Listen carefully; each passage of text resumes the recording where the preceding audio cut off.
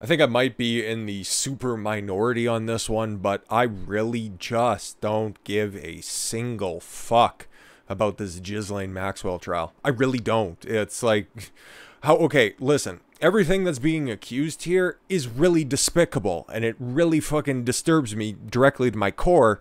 But the only thing is, how the fuck do you prove any of this shit? Okay, like, like what the fuck is actually going to be found out here? Like yesterday, he had opening statements. It's like, oh, she was a partner in crime of Jeffrey Epstein. It's like, oh, okay. And then the defense says, no, she's just being used as a scapegoat. And it's like, all right, okay.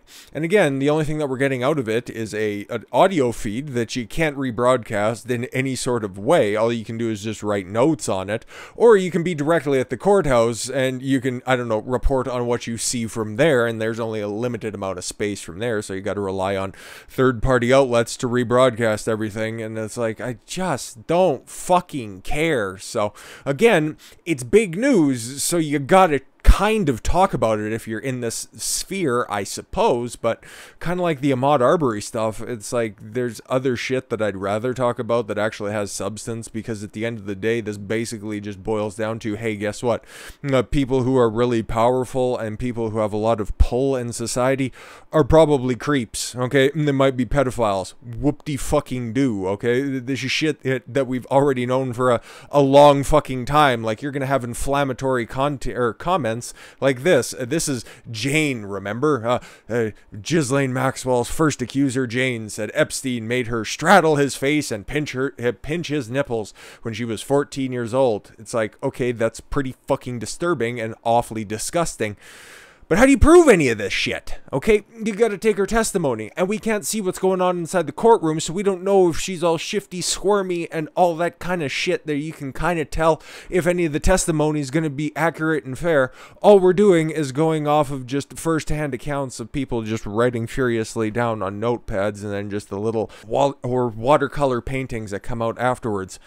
so, again, ah, fucking who gives a shit? So it's like, I always like to go off of like, evidence and some hard facts, but it's like, okay, what can she do? It's like my hymen was intact in 93, but in 94, it's no longer. It's like, I'm, this is so long ago. Doesn't make it any less atrocious if it did happen, but how do you prove it?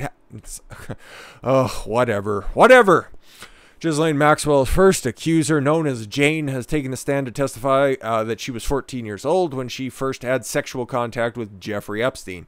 So, okay, so according to the prosecution, uh, Maxwell was integral in uh, acquiring the girls for the island that's what's being alleged, okay? And obviously, this is going to be a long fucking trial, so eventually we might get some sort of input as to how that happened.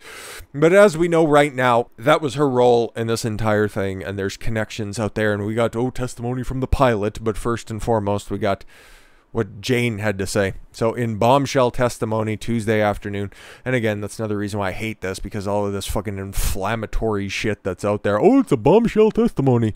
No, let the words speak for themselves. You don't have to fucking color it any direction. If it's actually bombshell, it'll read like it. You don't have to set it up like that. But the woman using pseudonym Jane because apparently somebody who's been in custody for the better part of a fucking year and has been woken up every 15 minutes to make sure that they don't Epstein themselves.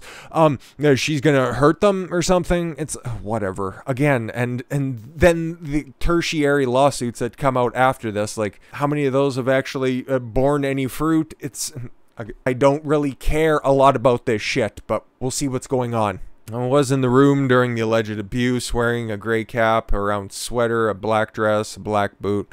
She pushed back her jet black hair and told her ma- er, and took off her mask and told the judge, "Fuck off." Just get to what the fuck they had to say. She detailed how Epstein had her straddle his face, pinch his nipples, and said the first sexual encounter took place in 94 when he took her into the pool house and proceeded to masturbate on me. Weird.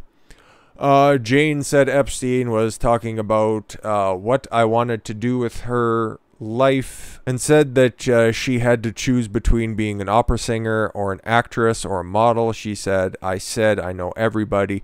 I know agents, photographers. I can make those things happen. Uh, but you have to be ready for it. The conversation ended abruptly.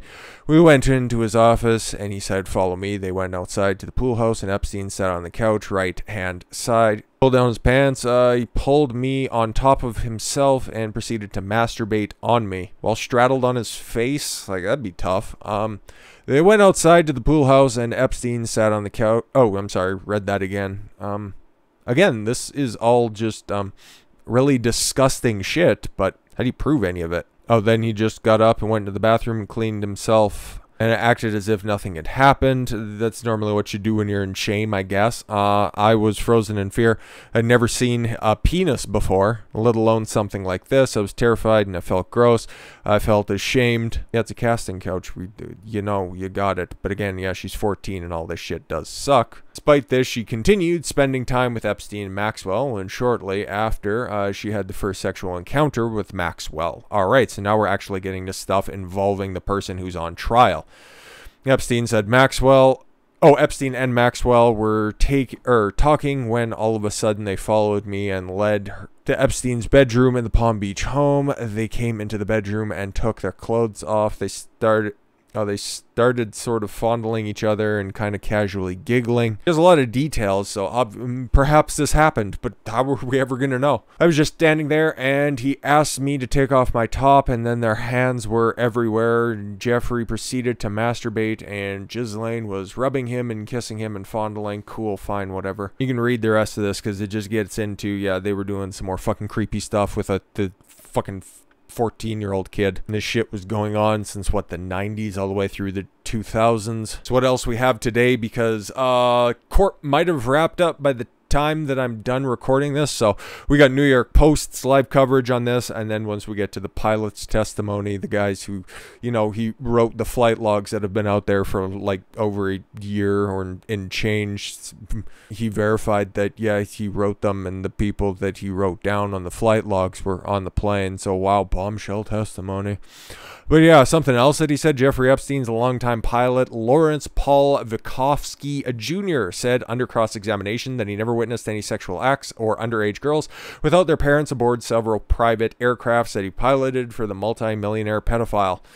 Okay, well, you're, also, he was never well, was he convicted? I don't know if he was. I don't really care either way. Jeffrey Epstein is a fucking creep, and that's been long established. I never saw any sexual activity. No, uh, Visovsky, er, Vi, oh, Visovsky, whatever, told defense attorney Christian Everdell, who quizzed the pilot on the stand about the thousand or so flights he piloted from early 90s to 2004. Visovsky said he did not notice any underage girls without their parents on the plane. But again, he certainly remembers certain people that were on the or were on those planes though. That include both Epstein accuser Virginia Roberts and a victim identified as Jane at the trial. All right, so Visovsky said he flew Roberts in the mid to late 90s, but believed her to be a shorter woman with dirty blonde hair. He added that he believed an Epstein associate named Jane uh, that he met on one of the planes was a mature woman with some piercing powder blue eyes.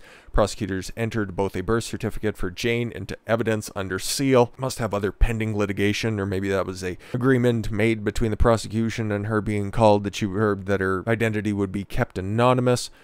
Bill Clinton, among those names, uh, dropped in testimony yeah, people that were multiple or that were on flight logs. Okay, various different flights, not necessarily to the island or not, but Clinton's name was on those as well as other people's as well, but we'll get back to that because I got a different article for that.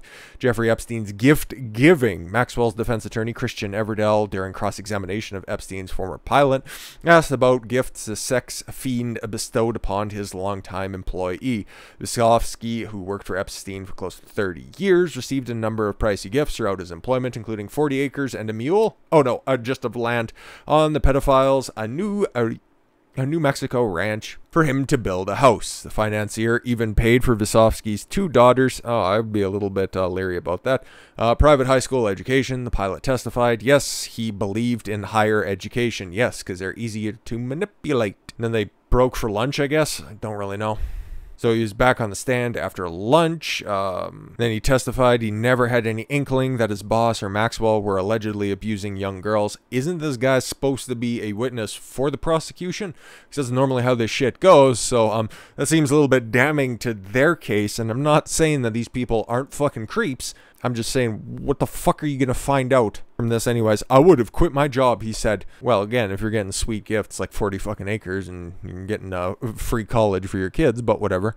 First accuser takes a stand. Yeah, Jane, we went through all of her stuff. So let's go and uh, dive a little bit deeper into what the pilot had to say. I certainly remember Trump. oh my God. And you certainly also remember that there were no unaccompanied minors on any of the flights that you uh, provided Epstein. Like, what? All right. Uh, Lolita Express pilot, and he also piloted many other flights that didn't involve that plane, because I think that was one specific plane.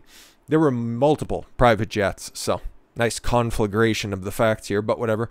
Uh, Lolita Express, Express pilot says he remembers Donald flying with Epstein on his private jet during testimony at uh, the Maxwell sex trafficking trial, as well as, as you can see there, he also described having Prince Andrew, Kevin Spacey, Bill Clinton on board the private jet. So again, once, you know, Orange Man gets clicks, ergo he's in the the fucking headline. A pilot for Epstein's pedophile private jet, the Lolita Express, and multiple other private jets, has uh, testified about former President Donald Trump being among the passengers on some of his flights. All right. Um, Claim, he claimed under oath Tuesday while testifying at the sex trafficking trial of the right-hand woman. Oh no, she's just the scapegoat, according to the defense. I hope ever, I hope the courtroom just self-immolates and we all can just fucking move on from this situation.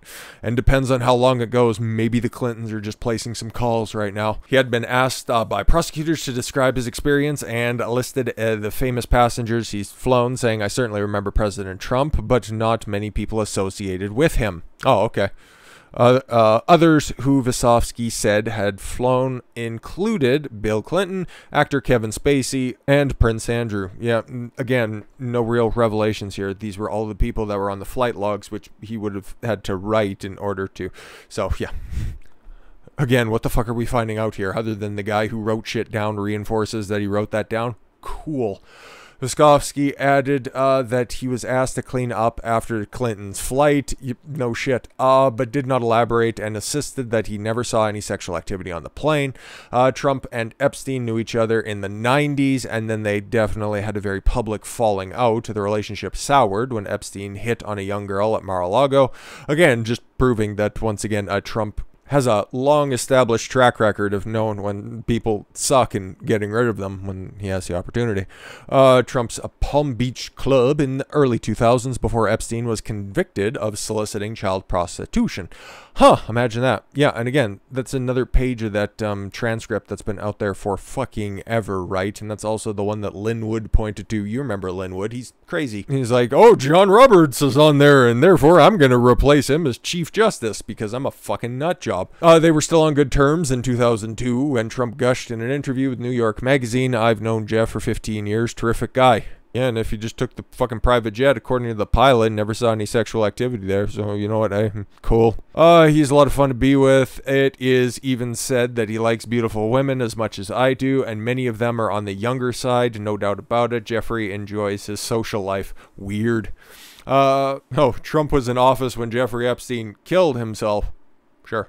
Imprisoned in summer of 2019. Afterwards, Trump fueled widespread conspiracy theories that suggested Epstein had been murdered. Well, you know, there's things like, I don't know, the medical examiner's records and him being on the, the record saying certain things. But hey, what, you know, you know, was it suicide? Was he killed? Are there a lot of strange circumstances surrounding that situation? Oh, I don't know, maybe, perhaps. Now, that right there is the one thing surrounding this trial, or at least overshadowing this trial, that if it would have happened at the time when I had this channel open, I would have definitely been talking about it, because that was fucking weird. But again, okay, so what did this guy see? Uh, I don't know, the inside of the cockpit. That was about it. And uh, what did he testify to? Shit that he wrote down 20 years ago. He's like, yeah, that was me. So, and again, uh, uh, Jane making some fucking spicy claims that can't really be backed up by evidence other than the testimony of a mentally distraught at the time 14 to 16 year old girl. Okay, I don't know what the fuck we're gonna find, but it looks like day one of the actual trial because yesterday was opening test or opening statements by the prosecution and the defense. So I don't know. You guys seem to really want some kind of commentary or some kind of coverage on this. I just uh, don't find it that terribly fucking interesting. So, might dive in know, a couple more times because this case is going to be going on for a while and it seems to be circulating in the headlines. So, I guess I'm kind of obligated to talk about it. But I don't really find very much substance to this. I think all the people involved in this fucking suck at different levels. So if there was just a roof collapse in the courtroom, I think we'd all be better off because of it. Lawyers included. With that said, thank you all very much for the gift of your time. I've been Don Khan Swaylo. I want you to follow your gut and get after it. Take care, everyone.